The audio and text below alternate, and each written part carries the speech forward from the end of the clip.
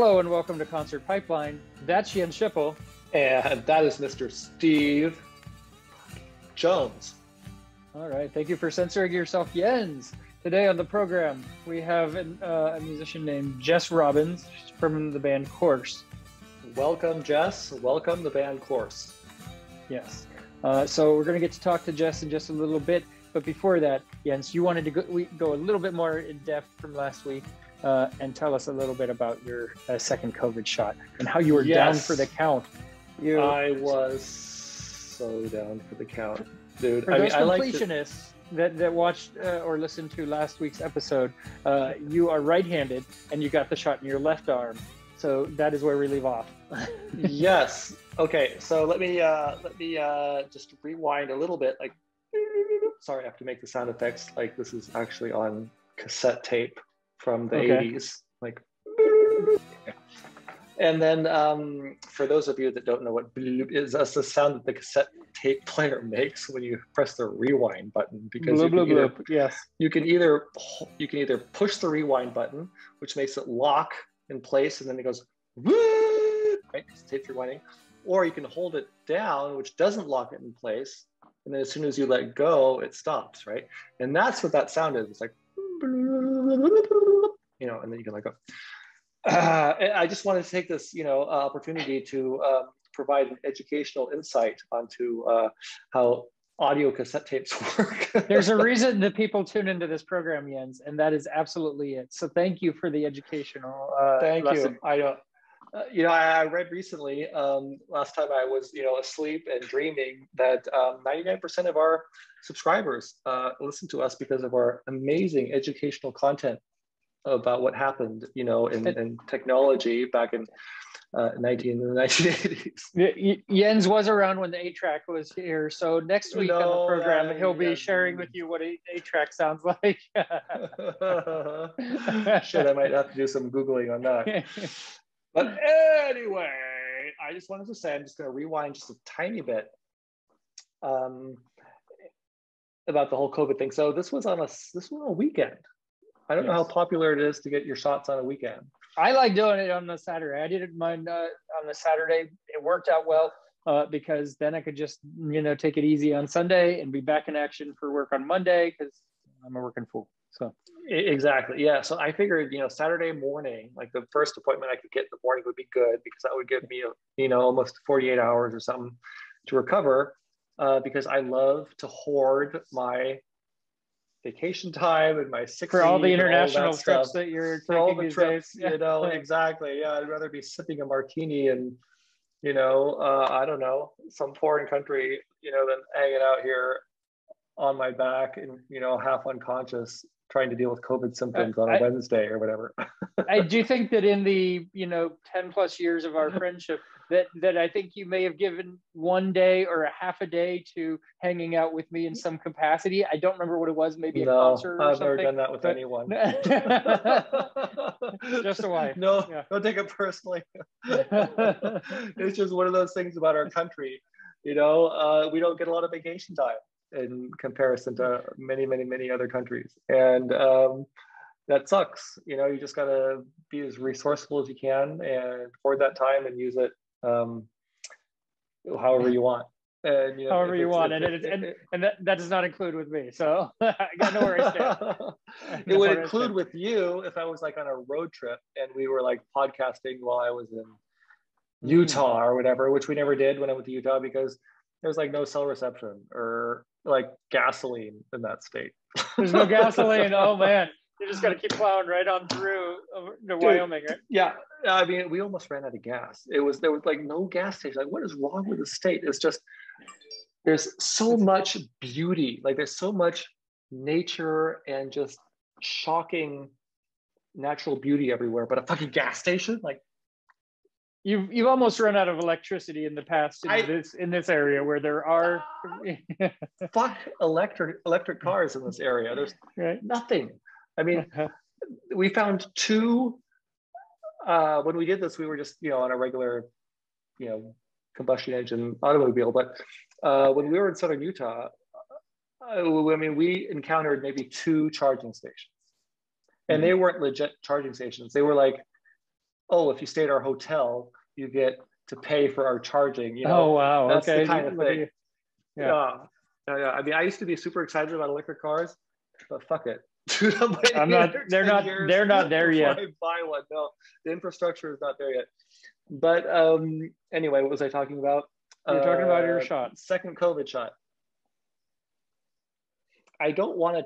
I don't want anyone to think I'm a wimp, but No, I would um, never. I would never think that about you, Jens. I know, Okay? Steve. Never. I know. I, I know that you think I'm like rugged and this like manly man, man. Even though I done Iron yeah. Man and shit like you have, um, you know, and all these Ragnar marathons, or triathlons, or whatever. I mean, called. if I had a dollar for the nine, number of times I'd be like, "Hey, Jens, let's do the podcast." And you're like, I- "Sorry, I can't get you. I'm up here at Mount Everest, or I'm, you know, sailing on the seven seas, or you know, or what have you. You know, it's uh, I Yeah. would be a rich man.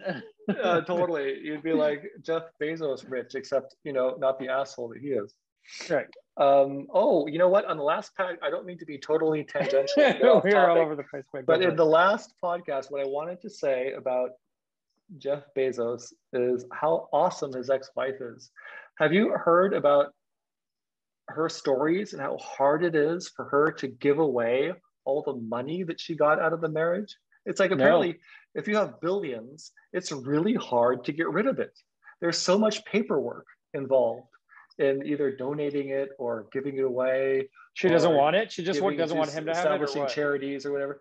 No, she's she's I mean she has so much of it. Her, her life is is around you know um, I mean don't quote me on this, but from what I remember from the article that I read was about um, you know dedicating a big chunk of her life to getting rid of her wealth after the divorce.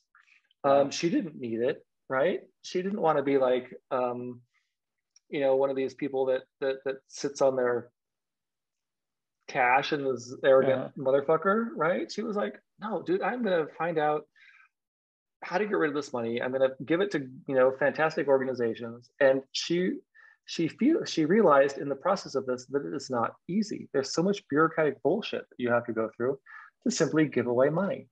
Wow.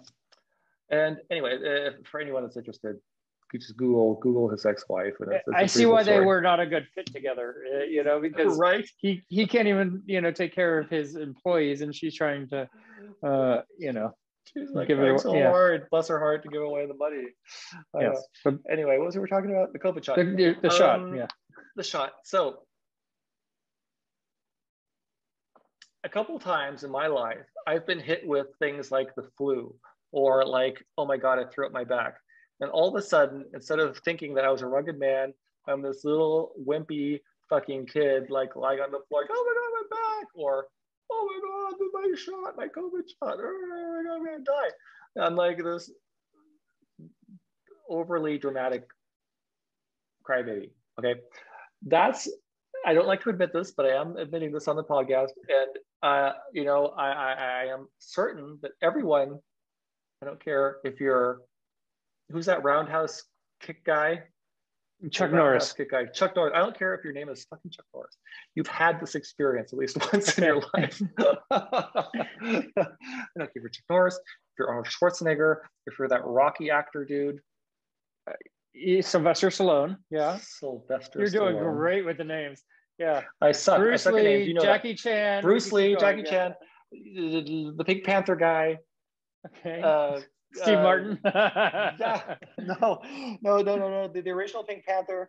Uh, I don't know. uh, but but his his is Cato, the guy that used to come out of the closet or out of from the ceiling or whatever, and just all of a sudden attack um, um, the Pink Panther dude. Anyway, Great story. yeah, I don't care who you are. Everyone has had this like crybaby moment. So um, that's sort of what happened. You know, I, I, I, I this was a Saturday. I didn't want to miss any work. I was at the, the vaccination clinic um, at nine o'clock. I got my shot. The whole, I mean, the whole thing was like five minutes. Yeah. I was so excited that I got my second shot. I completely forgot to sit down in that huge ass waiting area that I had to Uh-huh. walk through to get to the exit Yeah. with a big ass TV that had a time on it that said, you may leave at After 15 minutes. 23. Right. Yeah. You didn't wait so your excited. 15 I minutes? didn't see that. No, I completely, I didn't see it. I was blind. I don't know what my problem was. I just walked out the door and I'm like, I'm so excited. Oh my God. And then I got to my car and I realized, oh shit. There's like a sticker on my shirt that says you cannot leave until Uh. 923, right? Yeah. And, on- and then on my watch, it's like, I don't actually wear a watch, but on my phone, it was like, you know, 905 or whatever.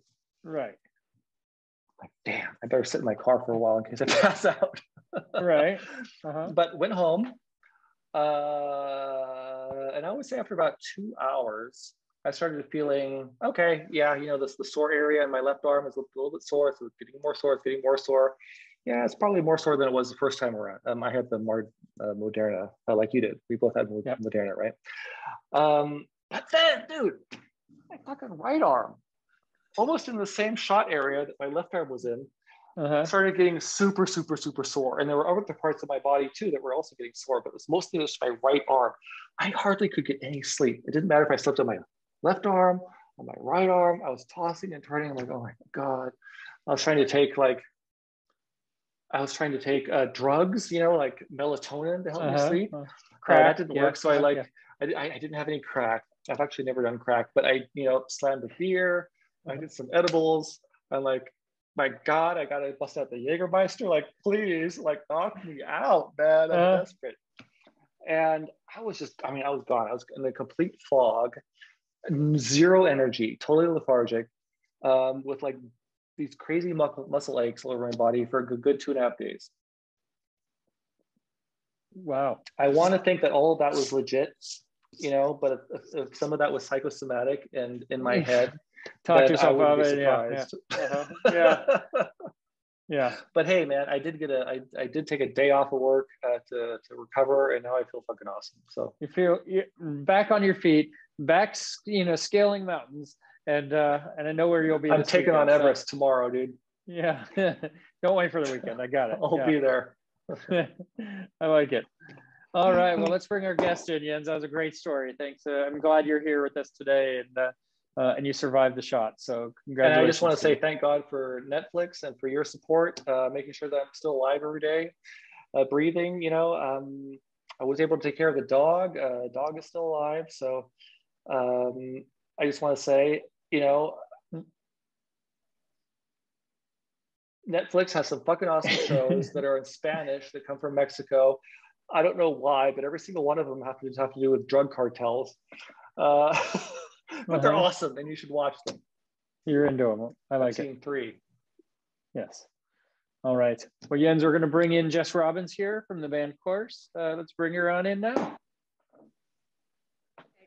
My earpods broke this week. Can you hear me okay? I can. They broke. I I don't, they just don't work. They've stopped working. Oh no, that's no good.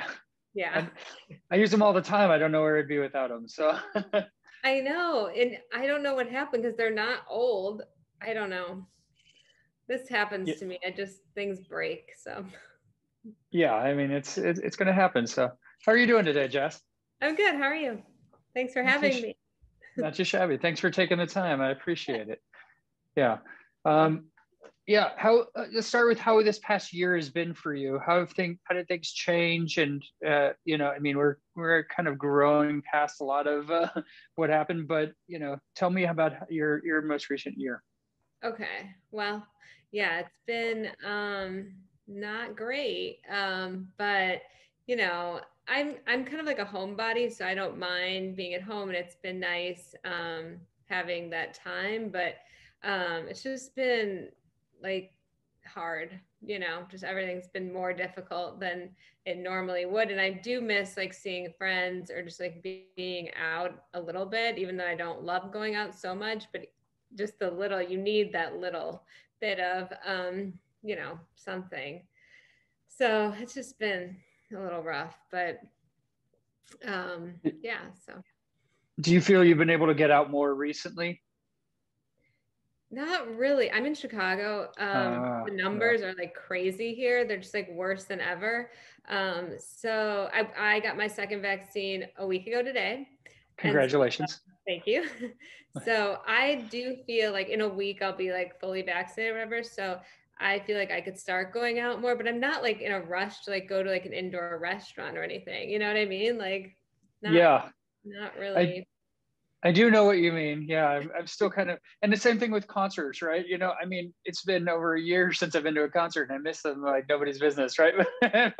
but, but still, I want to get out to shows, but I want it to be right. I, even though I've had both shots for three weeks, I still, oh, I'm not comfortable. I'm, thank you. Yeah. uh, I'm not comfortable going into a, like a show in a theater or a tight club or anything like that. I'll go to an outdoors thing where there's space or something, but you know, yeah. it still it still doesn't feel that comfortable, right?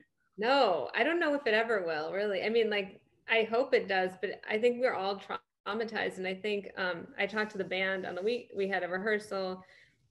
Everyone's vaccinated now, which is nice. We're still wearing masks in rehearsal, but um, we were like most of them aren't comfortable even doing an indoor show like even with like a small amount of people like in a crowded kind of bar place like we would do like an outdoor venue maybe or i don't know it's just not it doesn't feel right yet you know to i don't know.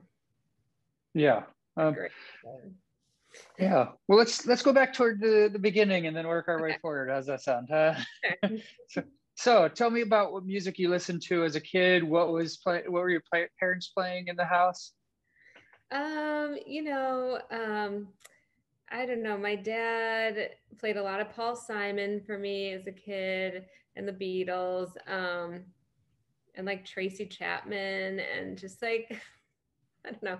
He had interesting uh, taste, but yeah, he I did um you know, but he also like introduced me like the Violent Femmes and like um Depeche Mode and I, you know, that um kind of music as well. So yeah, so I grew up listening to like all of that and um you know other I'm trying to think what else. Um I don't know. My dad took me to a Madonna concert once, but he covered my eyes the whole time because she was like humping a bed.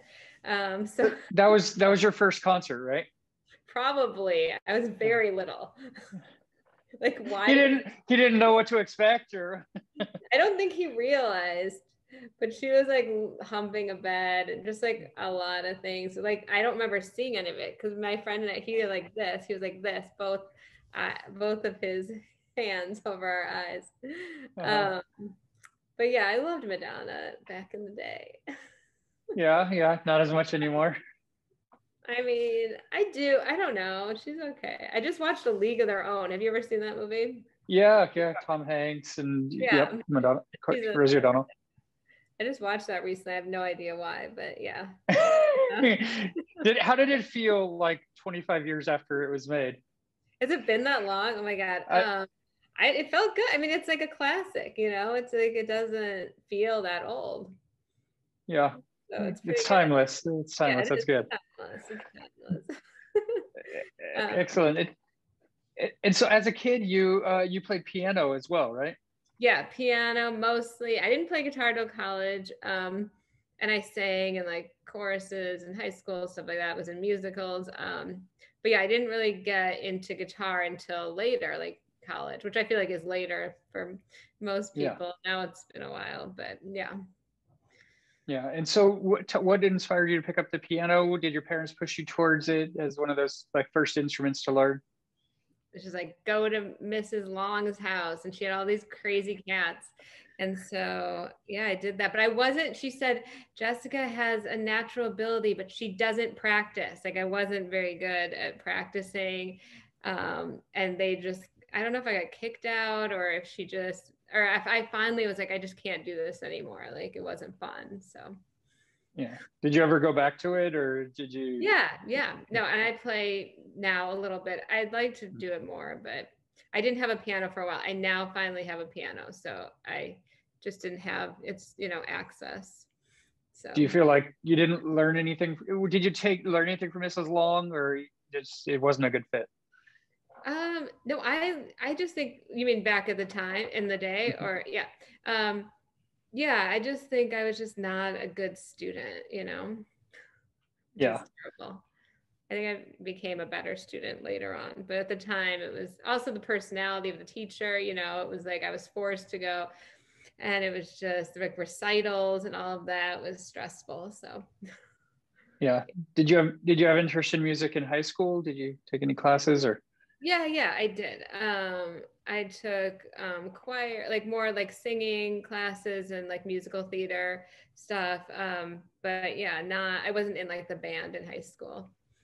But, no. What'd you do in musical theater? Um, I'm trying to think which we did like Guys and Dolls and Patience, which is an opera, which was kind of, um, I remember the neighbors complained about me because we lived in an apartment and I would sing the opera like it's so loud and like annoying because you hold the notes and the neighbors complained about me to my parents we yeah. the building. Can you hit those notes? I mean no, i don't know. I haven't tried opera in a long time. Maybe. Probably not too well anymore. that, now's a perfect time to try just let's do it together. You and me. You do it oh too. this is gonna this is gonna be real bad. Okay. Is not um, yeah, no, I don't know. I, I like yeah. up. It's nice to, you know. yeah. And and so what inspired you to pick up the guitar after grad school?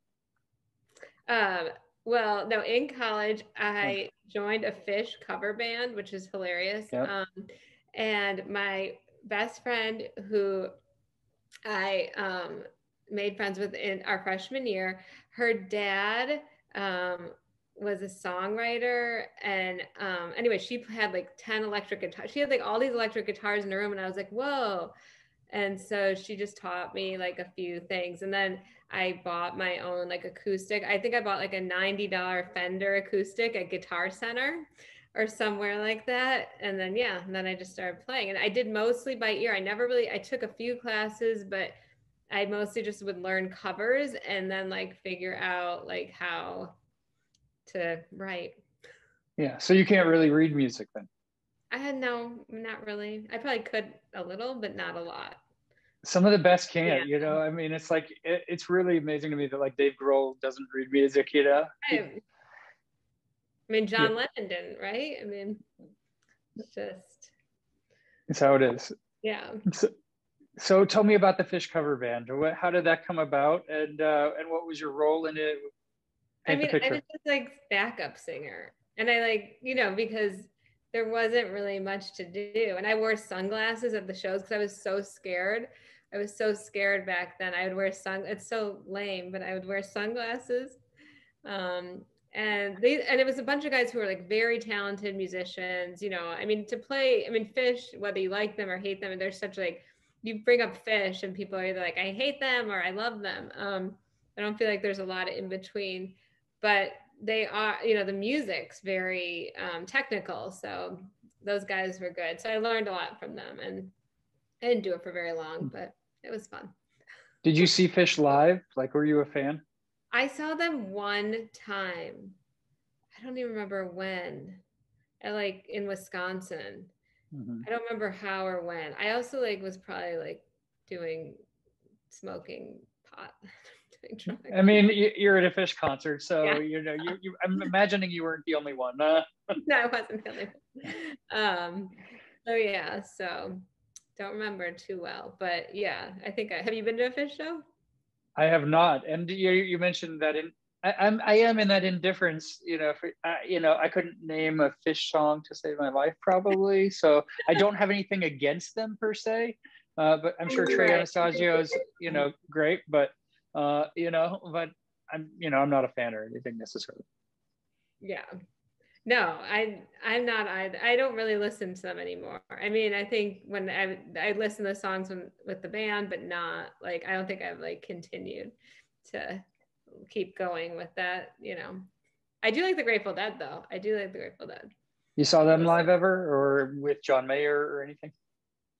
Mm-mm. No. No. Have you seen him with John Mayer or Oh. It's another I one. I, I, haven't I haven't latched yeah. on to a lot of that type of music, you know, it's uh, or sought it out necessarily. So yeah.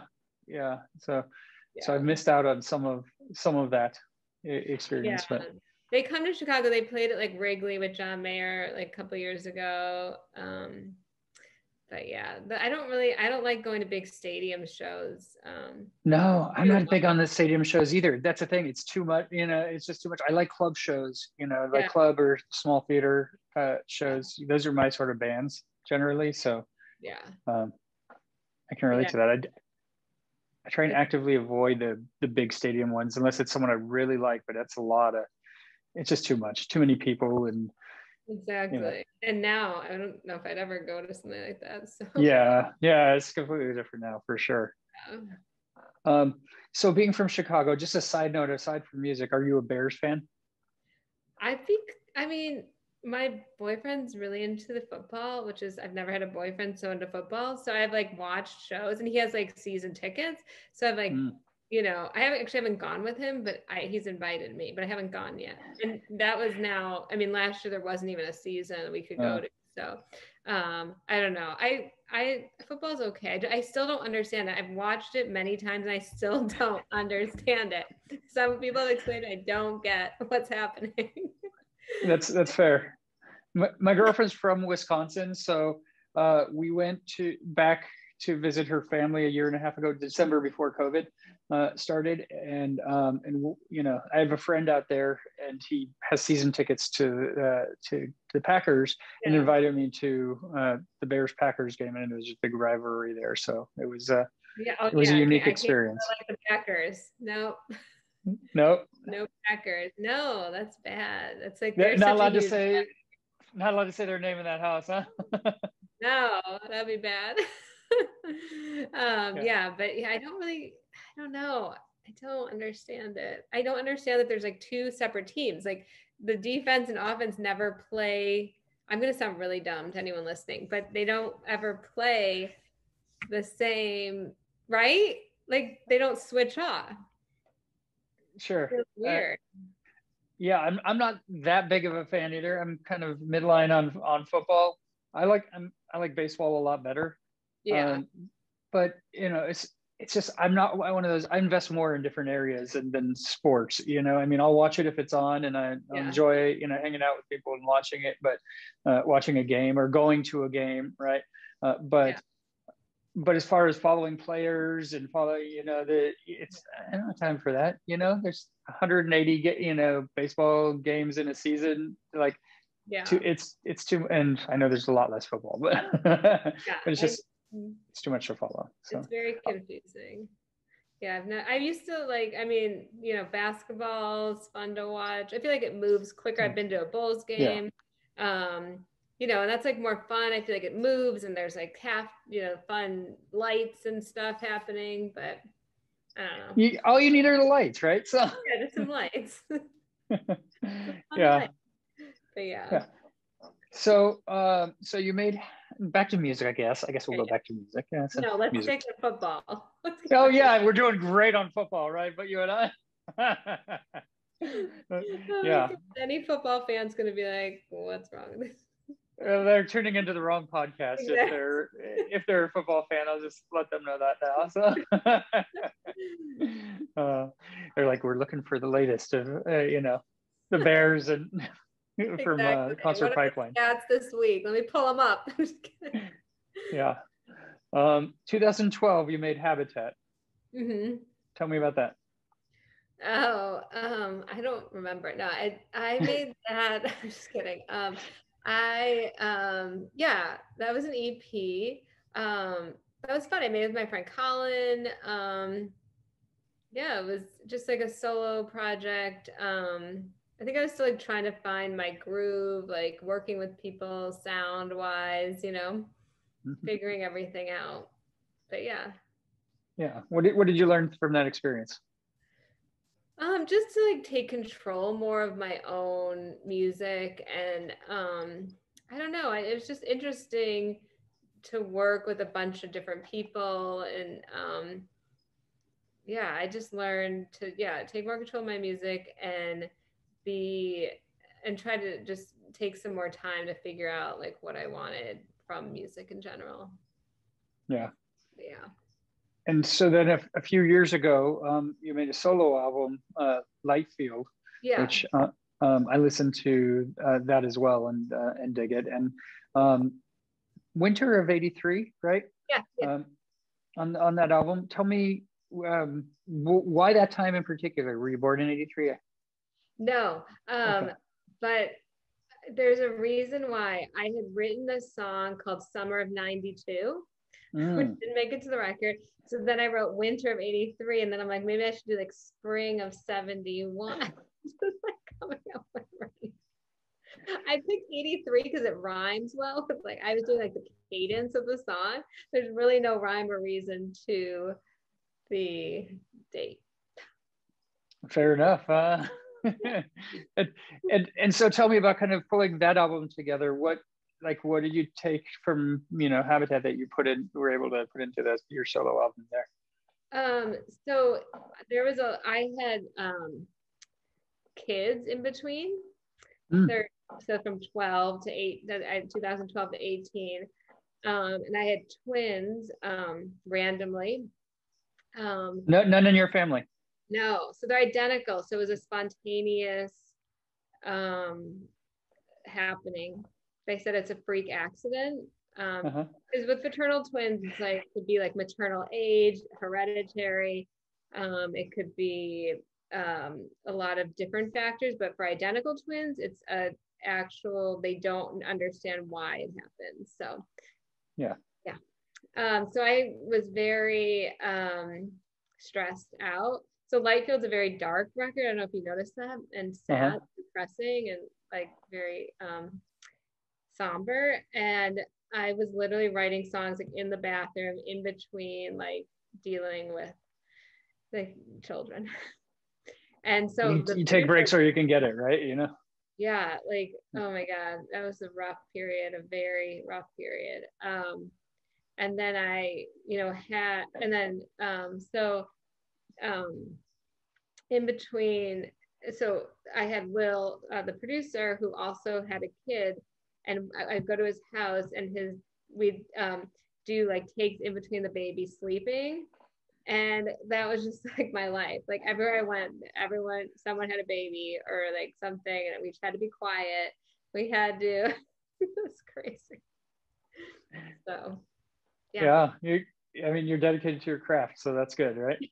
Yeah but it like saved me really because i was going through such a hard time and in a horrible relationship and like really bad situation. And the music i really feel i know it sounds cheesy but it did like really save me from those times where i was um really struggling like really like i couldn't get out of like bad moments you know? So i don't know what i would have done. Like it was such a good even though that album i didn't do much you know i I came out and then I went through a divorce right away. Like literally, it came out, things happened. I wasn't able to do much of that record, but I do love that record. I just felt it, I, I didn't have the uh, mind space to, you know. Yeah.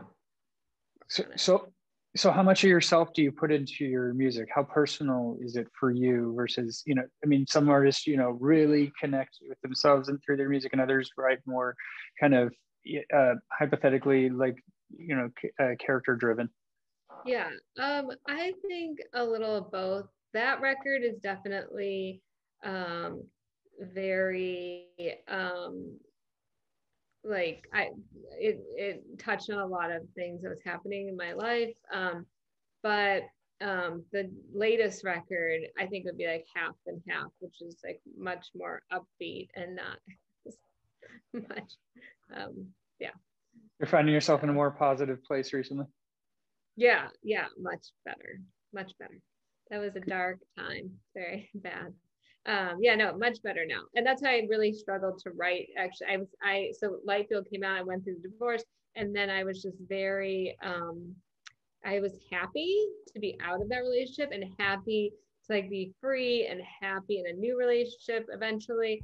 And I could not write anything. I was just like, I have nothing to say. Like I'm good. Yeah. Like, Things are just good. You're it's it's like you kind of want to get to that dark place a little bit so you can your music can you know you can have that outlet for the music, right? Yeah, exactly. I it's terrible, but yeah, and I it's there's truth in that and i think um, i had written give it all away that was probably the first song i wrote for the latest record but then I got stuck and I couldn't write. So my friend Kevin, who's a songwriter in Chicago, Kevin Perkel, um, he we co-wrote um, three songs on this latest record, and he was like, write a story, like write um, a short story or just like anything. And so I started to write short stories, and then we would meet and work on songs through the fiction writing that I was doing. Um, and then I liked doing that so much that I wrote a fictional um, story for each song on the record. So yeah. So so tell me about that because I, I, I read about that. So how how is that being released and how are how is the fictional story tied into the song? Okay, so yeah, so I'm gonna release in a chapbook, which is like um not it's like a paper book, more like poetry is put in chapbooks or short, very short story collections. Um, so um, and it's easy. I didn't want to be like if people bought the record, like send them a PDF. Like who's gonna read a PDF? I wanted to have something like tangible.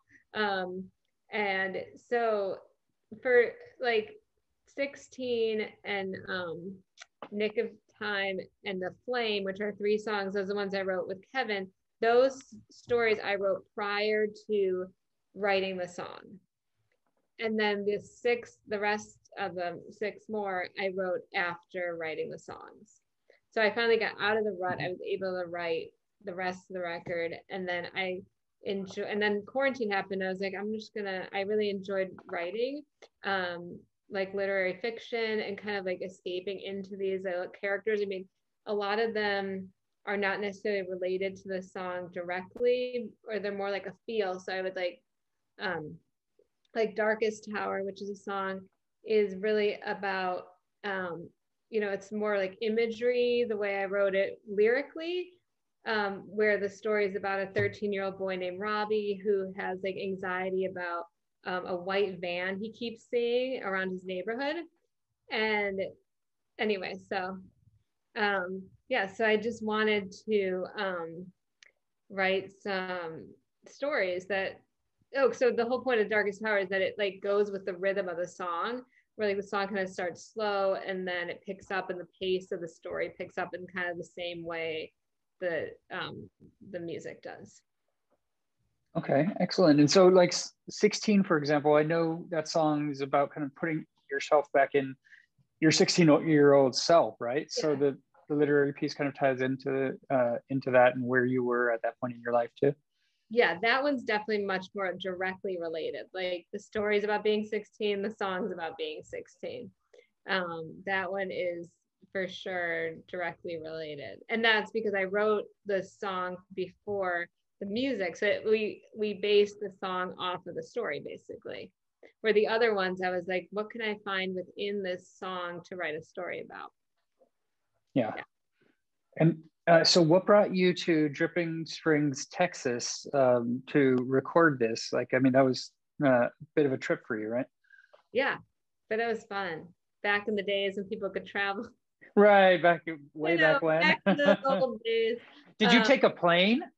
Yeah, I did. It's amazing. a plane without a mask and uh-huh. like yeah, and a train.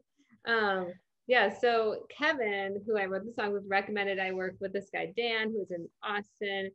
Um, and he was making music that I really thought was great. And also, I wanted to kind of change my sound to be more synth pop.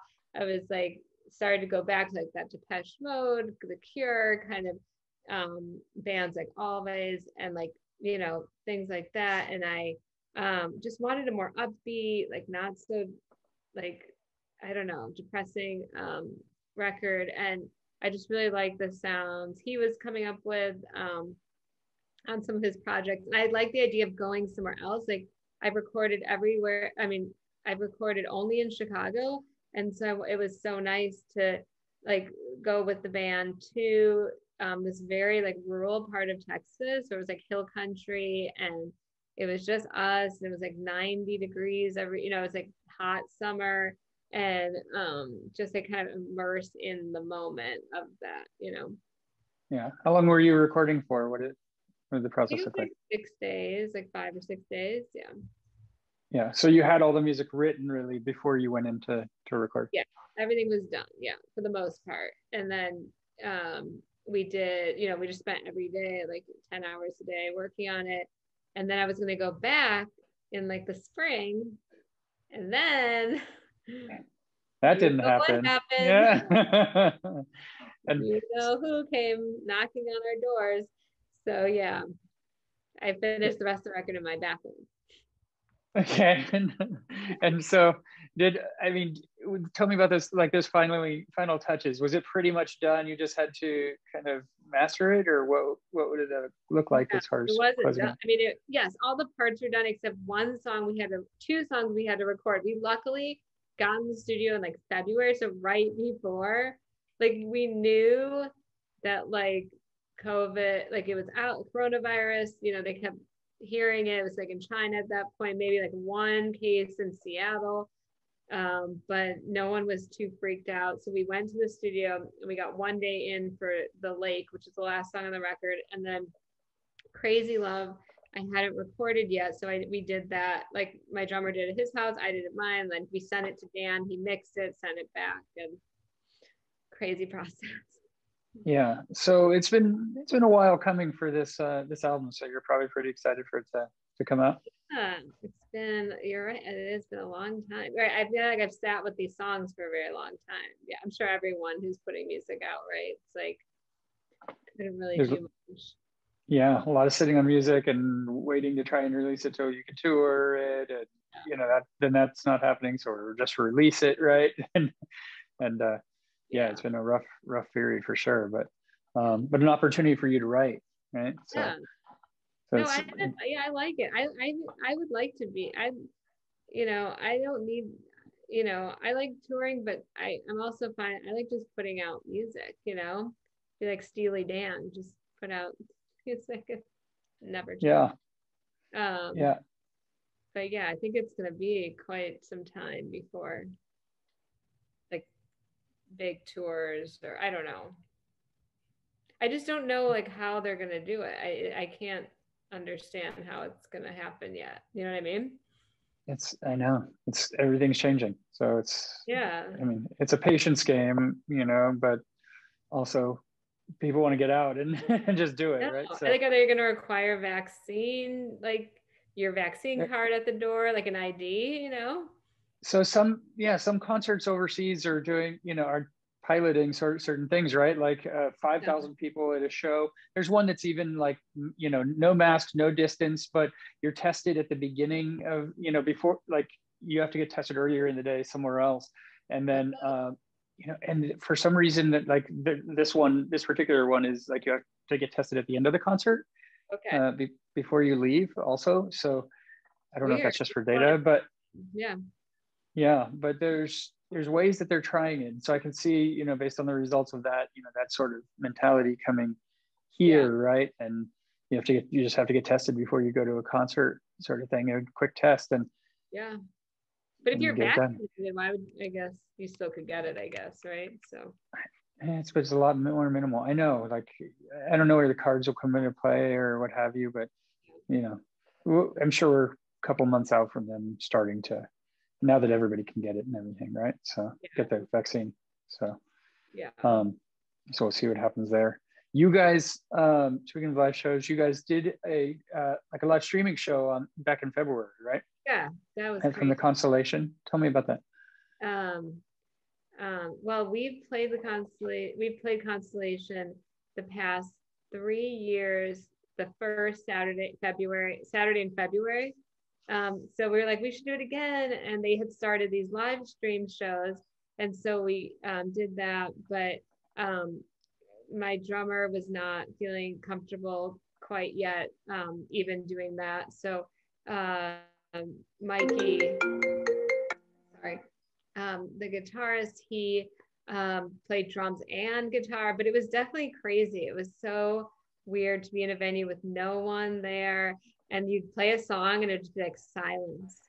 The crowd goes wild. Oh wait. Uh. uh, thank you. Yeah. So that was so um, crazy, but it was really nice. Uh, I love Constellation. They're great people there and great venue. And want to support them like as much as possible. And um, you know, it brought tears to my eyes just being in a venue because I was performing every every month, you know, at least. And then I that was the longest actually, even when I had kids. I was like after I had the twins, I was still performing. Like I think the next month I did like a, some type of show, like, you know, even though I was probably not feeling great. But yeah, this is definitely couldn't, couldn't say what.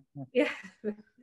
So yeah, this is the longest I'd ever gone without performing. So yeah, and for the show, like you, you guys had to fight snowstorms and everything, right? It was pretty oh treacherous to get there, huh? It snowed for like two months straight in Chicago, like blizzard. Every time we had a rehearsal, there was a blizzard. Every time, like, and then that night it wasn't actually snowing, but it was like 20 below with the wind chill.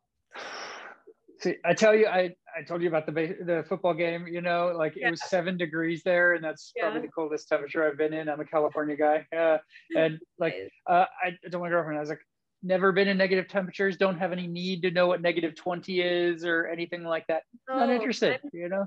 Wait, where are you exactly? In Napa, California. In Napa, okay. So I thought mm. so. That's so nice. I mean, it is horrible here. I don't know why I live here. Every day I ask myself right now or today it was snowing and it was like 30 degrees. It's just like it's so bad. It's not, and it's funny because my friend she went to Palm Springs or like LA or something um, for the winter because she's like a therapist. So she was like, I'm just going to do my practice somewhere else. Yeah. And she's like, people don't under like. She was like, the difference, like people in LA are like, oh my god, it's so hard, but they don't. It's like in Chicago, you literally in the winter are even if the numbers are okay you're locked in. You can't do anything. Yeah. So it's just like at least like like with warm weather you can go out and walk or yeah. I don't know. Yeah yeah it's we have nothing to complain about out here you know but we pay dearly for it i'll tell you so. sunny. Your apart your place looks nice and sunny and happy. Oh it, it is it is and i live on here. I live on a vineyard property. I'm um, Whoa. But, but uh, um, yeah, so it's it's uh, you know, I, you won't find me complaining, especially after. Uh, put that back there. There we go. Um, especially especially after I've been to Wisconsin, you know, like right. Nope, I'm I'm not going to complain, but so so things are okay. And, uh, and how old are your twins now? Um, five.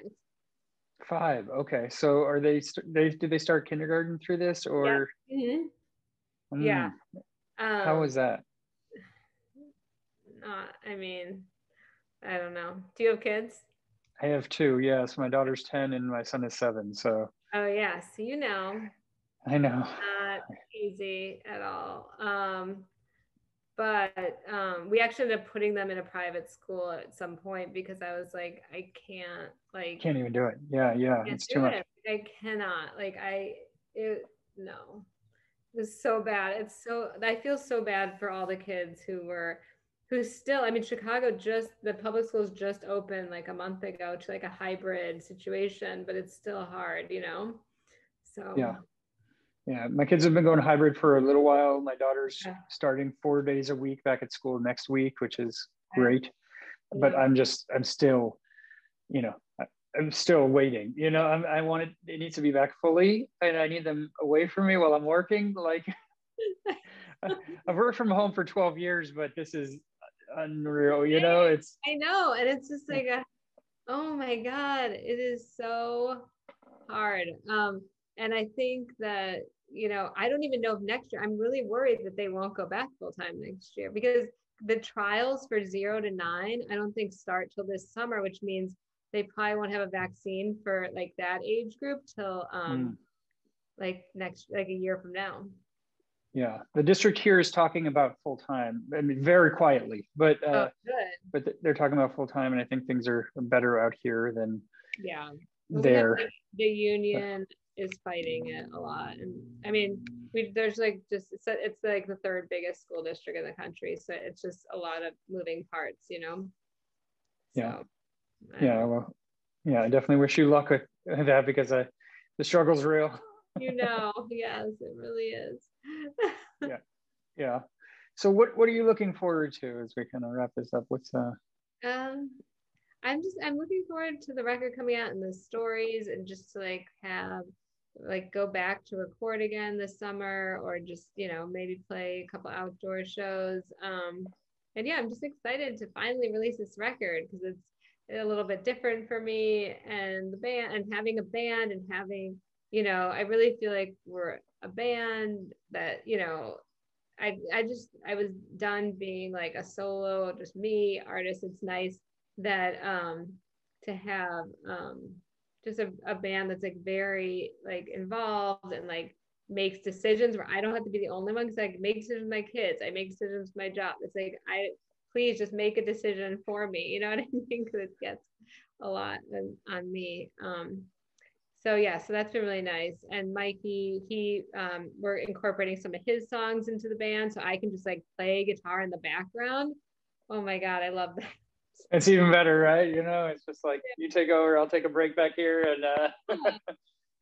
yeah, no, I really like that. It's nice to just not be um, always the one singing or you know in front. So sounds like you guys have a good dynamic.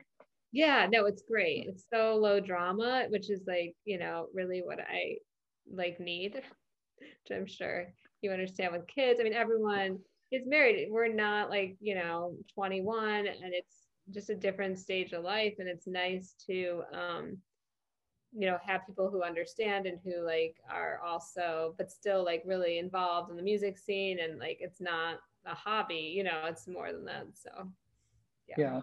and so with with kids i mean like as you look forward do you see let's just say it's a year out and things are much better. Do you see yourself like next year touring at, at all and kind of getting outside of the the chicago area yeah, I would for sure. Yeah. Um, yeah. yeah, because their dad can take them. You know what I mean? I mean, it's nice to have like, like, um, time where the he can take them, and if he needs to do something, I can take them. Um, but that's allowed for more like um, time for me to do things. You know, especially during the pandemic. That was huge. I was like, divorce is great during the pandemic. Do you know what I mean? yeah, yeah. I don't know. Like my friends who had the kids all day, every day, and like, I don't know. Nope, I, I know. Yeah, i am divorced as well, and yeah. uh, the divorce at dad's club, and so that time away is that like, especially having them in the household on day. You know, they're here for like three days a, a week uh, during yeah. to do to do school, and, and there's a rigorous drop off and pickup schedule and everything, and with with that, and it, it's involved, but those days are where I can really focus and do do work when they're when they're not here. And so it's you know you miss them, but then you're like you can breathe at the same time, right? Yeah, it is like a men. I mean, during the pandemic, it's a mental health issue. It's like you have to have some time to be able to you know especially when we couldn't even like leave the house when we were in lockdown in chicago like that was crazy it was crazy yeah so yeah yeah well. but yeah it is um i would definitely um like tour you know with in short chunks you know i'm not going to go for like three months no. but yeah um yeah for sure i'd love to and i love to go somewhere warm. Come out this way okay? We'll have, yes, have some wine and uh there's lots of great places here that, uh, that you could play so yeah. That sounds so nice. Cool. Yeah yeah well, Jess, I'm, I'm wishing you warm weather ahead, and uh, and also thank you. You know, a break from the madness, and uh, and much luck with the new album as well. Yeah, uh, thank you so much for having me. Hey, thanks for ta- taking the time, and uh, yeah, look forward. To, uh, I mean, I checked out the album, but I look forward to uh, it being released for you guys. So. Cool. Thank you so much. All right. All right. That was the interview with Jess Robbins from Course. And Jens, that takes us to the final segment on the program. What is it? It does. It takes us to one of our most famous segments, historically speaking, uh, where we take the time and we put the energy into curating specific stories that we then bring on the show. Uh, they're all focused on what's happening in the world of music. It's our segment called Music News.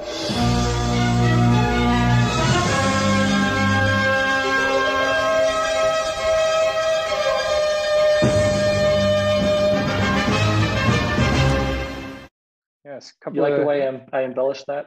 I do. I like the way you you, you really accentuate it. You make it unique each time. You know, I'm, I- I'm like I'm like waiting for the music news so the sounder will bling and you know. yeah, I'm and especially excited about this uh, this round of music news.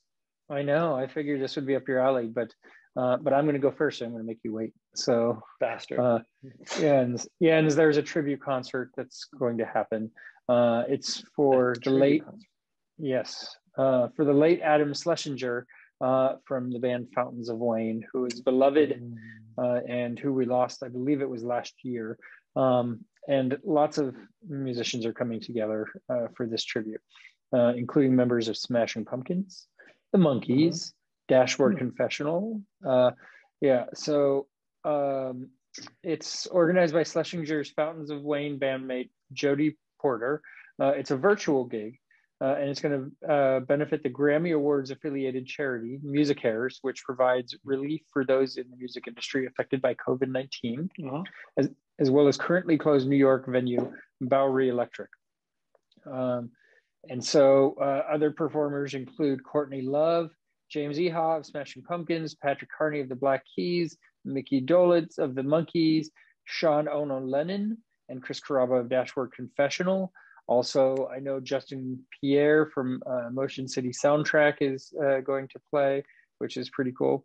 Um, this stream takes place on May 5th at 8 p.m. Eastern. Um, tickets cost 15 pounds. I don't know how much that weight uh, transfers to in American currency, but I'm sure it's not too expensive. Um, and uh, um, and uh, for those that don't remember, Schlesinger died at age 52 following complications related to COVID 19 in April of 2020 after being hospitalized with uh, the virus. Um, and um, uh, let's see here.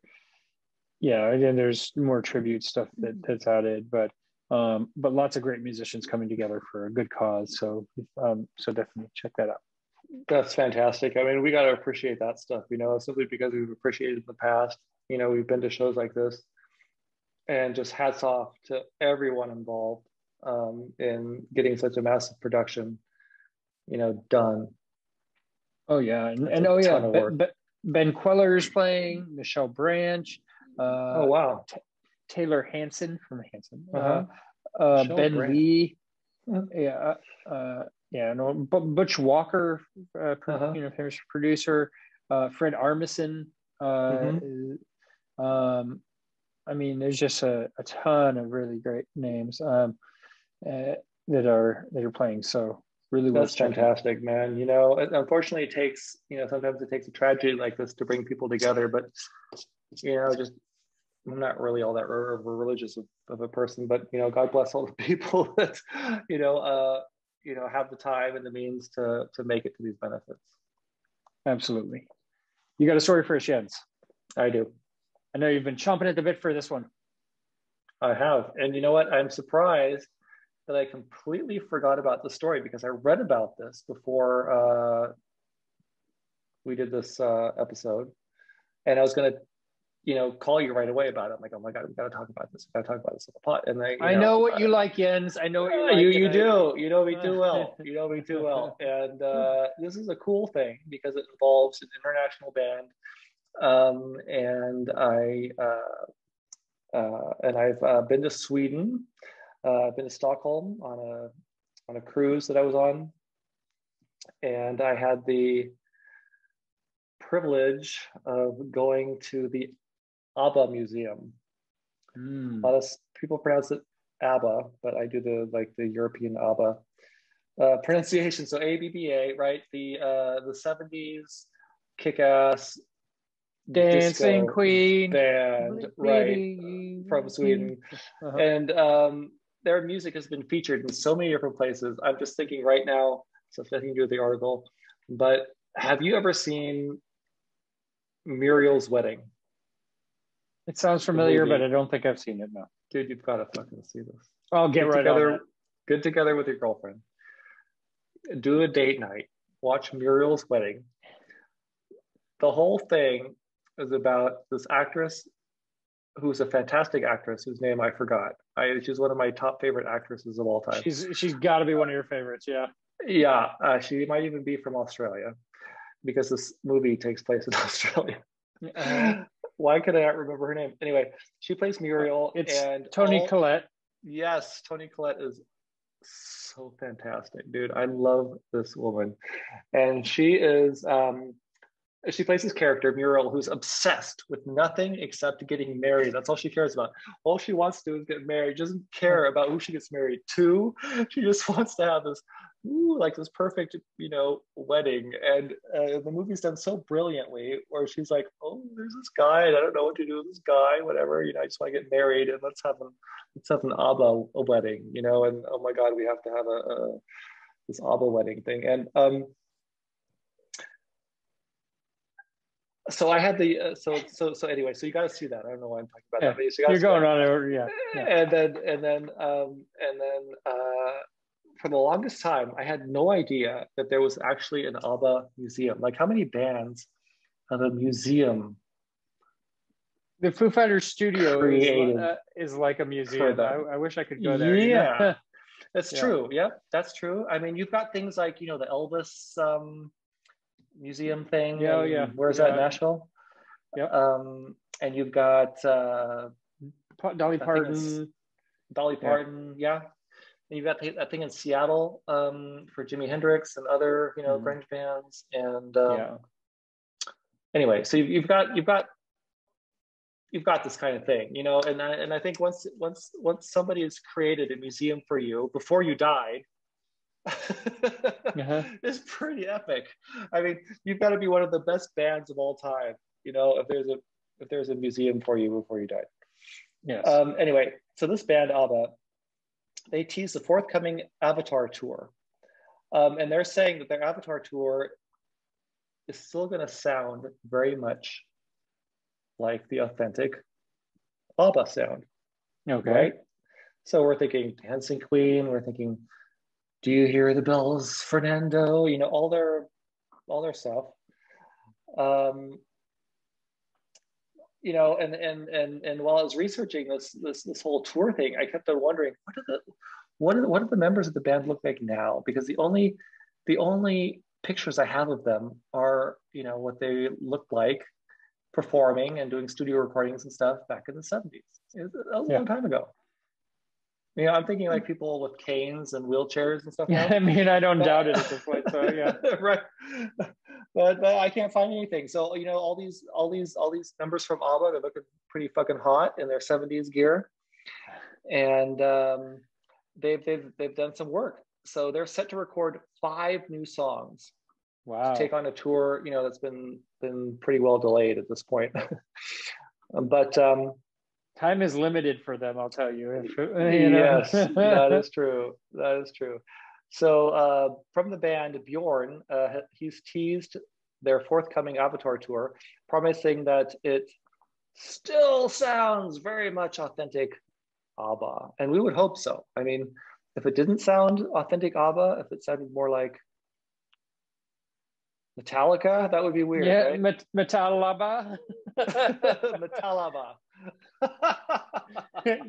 you love it. Can you imagine a Metallica museum, like a, Uh-huh, a yeah. fusion between these two bands? Oh my god, that would be so confusing. Um, anyway, so back in 2017, it was announced that the band would reunite in digital form in 2019, Woo, like two years ago, um, and they were going to perform as the ABBA Tars. Mm, I see what they did there. Just like Metallaba. They're getting creative with their name too. Yeah. Is that like a blend between the band and the movie Avatar? Like they're all going to be these weird green people, aliens? It could be, but Avatar has different connotations too. So carry on. We're gonna get Anyway, through the story one of these We days. are going to so- get through the story eventually. Yes. Um, feel free to forward wind if that's a word. Um, Go back to episode 300 or something if you want to know. That's 301 or whatever that was. Yeah. Okay. When the reunion tour was then delayed, the Swedish pop icons announced back in 2018, that was three years ago, that they would be sharing two new tracks. Woo! Uh, with songs called I Still Have Faith in You and Don't Shut Me Down. Okay. Oh my God, doesn't that sound like? Okay, I'm sorry. I have such a hard time keeping a train of thought right now.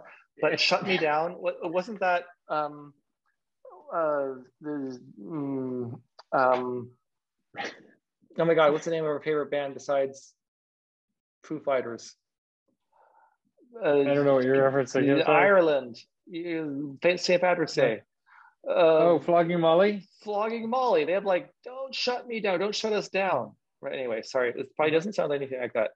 Uh-huh. Um, which was then don't don't to, shut them down is the don't shut them song. down. Yeah, yeah, like don't shut down the factories and put people out of work and you know. Yeah. So uh, Detroit or whatever that was about. So um, what? So two songs uh-huh. turned into like morphed into five. So they're rewarding fans waiting for for the reunion. Um, you know, especially because it's been extended now because of this fucking COVID shit. So right. we're all trying to wait patiently and experience the ABBA verse. I'm I'm being as patient as I can here, Jens, but it's you know the story yes, is taking as long as the reunion is. Uh, avatars, sorry, not ABBA Avatars. Sorry, I'm doing the extended version of the story. Okay. Uh-huh. Um, yeah. la, la, la, okay, a lot, bunch of blah blah blah Swedish names that I can't pronounce. Blah, blah. And then um, yeah, mm, okay, so they painted dots on our faces and they measured our heads, and um, and um, uh, one of the tunes is very danceable.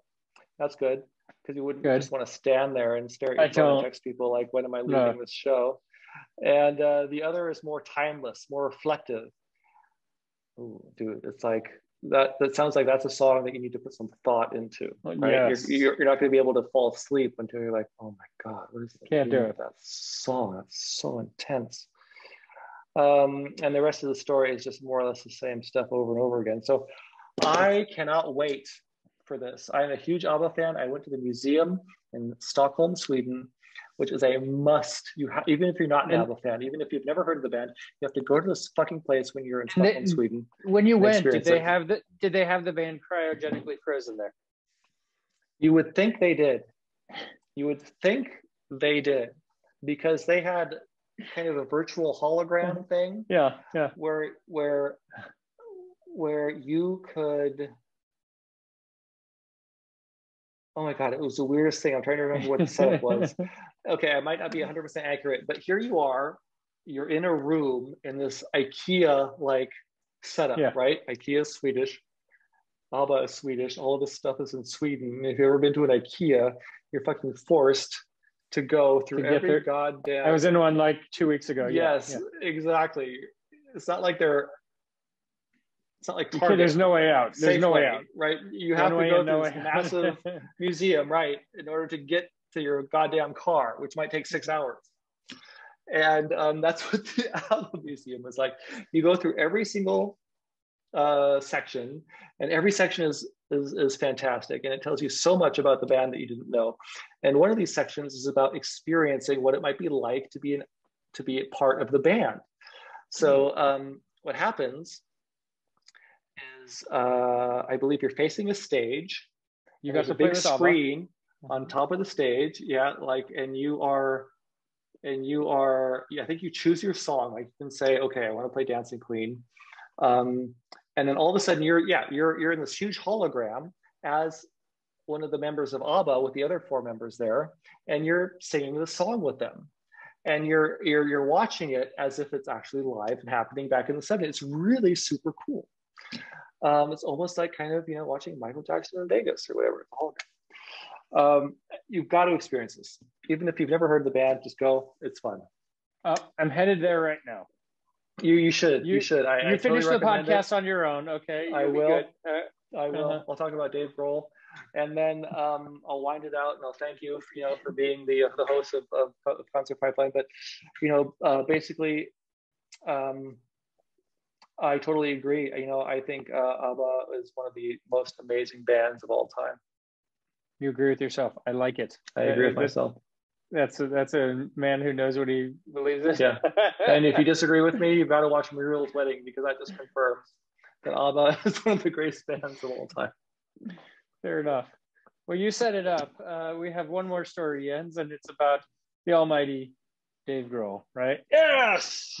I had so, a feeling Yes. So uh, Dave Grohl has announced uh, the What Drives Us documentary film. Um, and it's produced by the Foo Fighters and entitled What Drives Us. It'll be available via the Coda collection in the US and Amazon Prime Video in select global markets beginning April 30th. Uh, Grohl had this to say uh, This film is my love letter to every musician that's ever jumped in an old van with their friends and left it all behind for the simple reward of playing music. What started as a project to pull back the curtain on the DIY logistics of stuffing all your friends and equipment into a small space for months on end eventually turned into an exploration of why.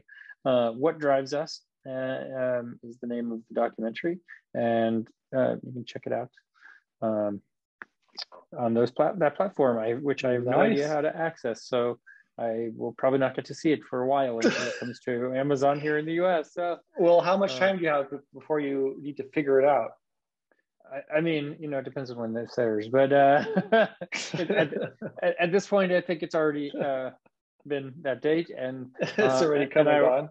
And I have some sleuthing to do. So, well, you better not get any sleep, man. You better pretend you had that second COVID shot, even though it was three weeks ago for you, and be like, "Oh my god, man!"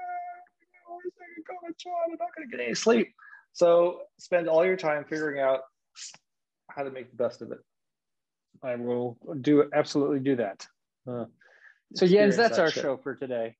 Thank you for for being here and for being my esteemed co-host on this uh, program. I appreciate it. Thank you for being the host host, and thank you very much again for being in this lovely band.